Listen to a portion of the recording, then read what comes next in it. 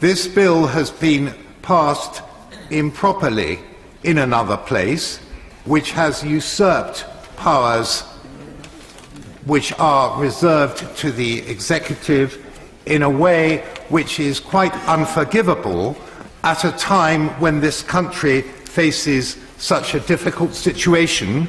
The European Union is likely to agree to her request for an extension, even for a long extension, God forbid, and I'm sure that the people in the country would welcome. There is a huge majority for bringing this matter to conclusion as soon as possible. It is quite proper for your Lordship's House to have a procedural debate in circumstances where the House of Commons has broken its conventions, even on a matter of huge constitutional importance. We are seeing a complete breakdown in the, the rules by which our parliamentary democracy operates.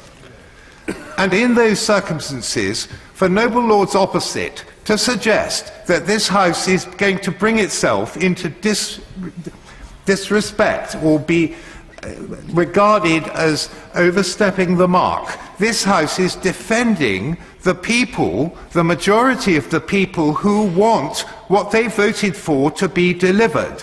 This bill is designed to prevent that.